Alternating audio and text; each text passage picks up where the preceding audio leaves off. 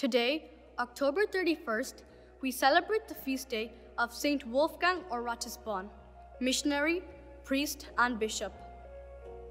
Wolfgang was born in Germany, and at school he encountered Henry, a young noble who went on to become Archbishop of Trier. Meanwhile, Wolfgang remained in close contact with the Archbishop, teaching in his cathedral school and supporting his efforts to reform the clergy. At the death of the Archbishop, Wolfgang chose to become a Benedictine monk and moved to an abbey in Einsiedeln, now part of Switzerland. Ordained a priest, he was appointed director of the monastery school there. Later, he was sent to Hungary as missionary, though his zeal and goodwill yielded limited results.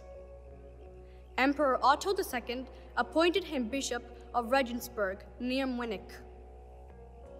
Wolfgang immediately initiated reform of the clergy and of religious life, preaching with vigor and effectiveness and always demonstrating special concern for the poor.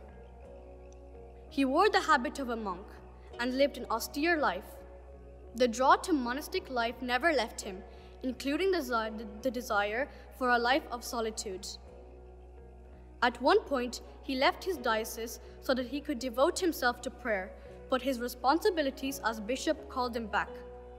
In 994, Wolfgang became ill while on a journey. He died in Austria. In 1054, Pope St. Leo IX canonized St. Wolfgang as a model of the bishop who is ready to correct as well as direct the flock entrusted to him. St. Wolfgang, pray for us.